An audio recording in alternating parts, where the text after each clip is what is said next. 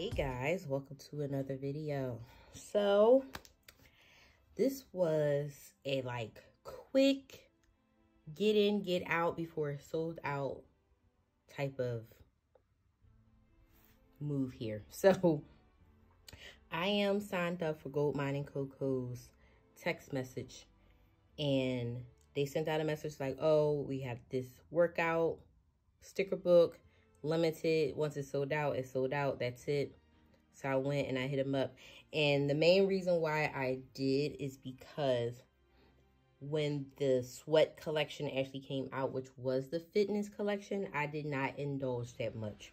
So I said, let me go ahead and get them. And then I got two because the fact that I, for as far as I know, is not coming back. So you guys already know I'm going to do a flip through so you guys can see what it is. And even though as of now this book is not coming back,